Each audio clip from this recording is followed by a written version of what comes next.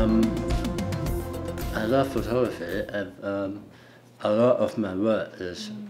photography. Mm-hmm. Um, but uh, I feel sometimes um, it's a limitation. Mm-hmm. So um, I um, experiment with other ideas as well. Mm-hmm. For example, um, with uh, sculptures, um, with uh, sculpture mm-hmm. or um, books, mm-hmm. um, maybe with um, um, movies, mm-hmm. movie images. Mm-hmm. So um,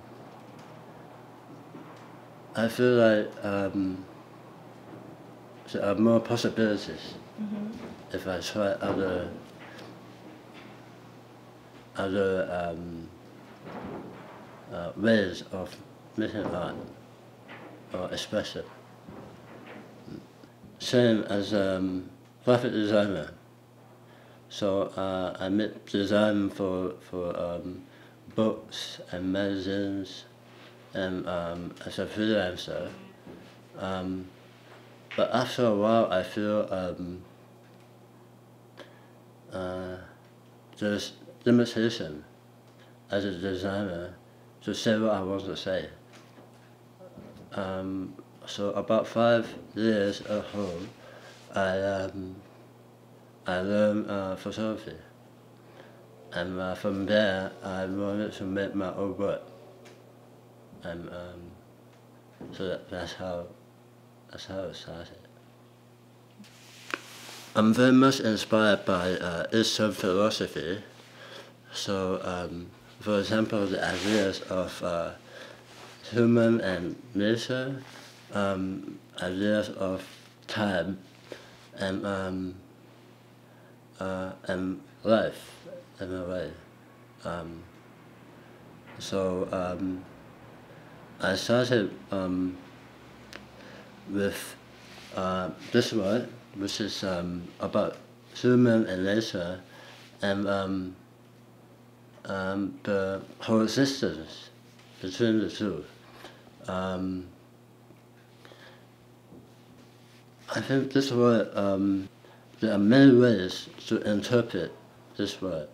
Um, in a modern sense, um, we talk about uh, sustainability and the environmental issues. Um, and this word is about that in a way because we see that um, this way of living with nature has been a long time, uh, happening a long time. But maybe until now, uh, our life lifestyle is uh, different. So um, I, I, want people to look at the world and uh, think about um, their relationship with nature through these objects. Um, on another side, it's also about uh, uh, the craftsmanship of of the objects. Um, it's an appreciation of the art and of um, the methods of how to make something by hand. Um, so I started with this word, and also um, uh, for example, this one is it's about uh, being in the present moment. So uh, about mindfulness and um, idea of time. Um, so I wanted to. Um, I chose uh, a few um, different words that I feel that works uh, well together and also in the space. Um, and um, it's inspiring to be in a space like this. I feel like the artwork and the space work very well together. I was interested in this space because of uh, the history. Um, first of all, it was uh, it was the studio of, uh, of a master painter who, who painted here, and um, who um, Mr. Kaho, his son, turned into uh, exhibition space. I think that is very interesting.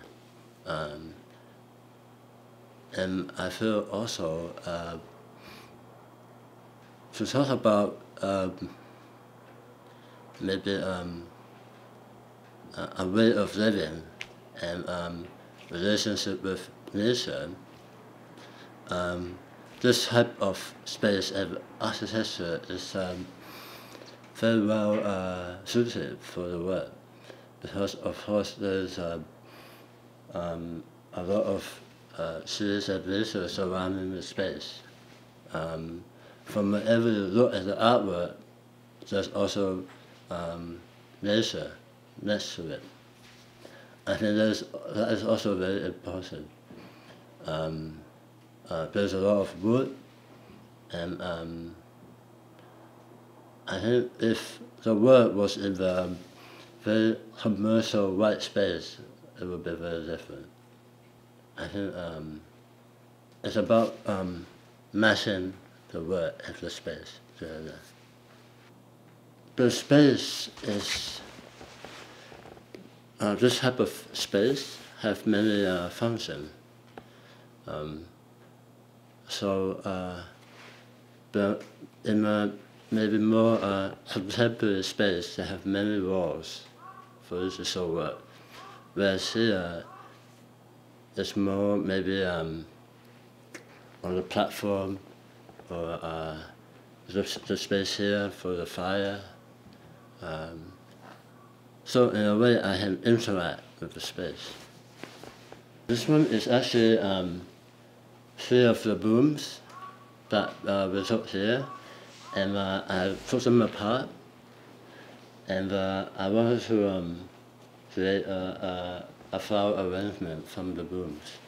So um, in a way, it's, um, the booms were first a plant, and then it was turned into a boom. So it's my way to uh, free the booms at uh, one more. And uh, you can see all the parts are still here. The vase and, and the platform is from uh, Mr. Kaho, his uh, collection. So um, it's also a way of uh, collaboration. Um, I told him about the idea, and he um, he bought this vase and this platform. So uh, somehow we worked together to do this, and that's also very interesting.